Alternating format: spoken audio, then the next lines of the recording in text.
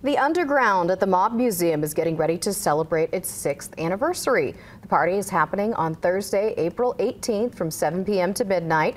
It will be held at the museum's underground speakeasy and distillery. You'll get free entry if you say the password, Our Little Secret and there will be live entertainment provided by a jazz band and a selection of special cocktails. There are plenty of other events happening all month long to celebrate the anniversary. You can visit themobmuseum.org for a full list.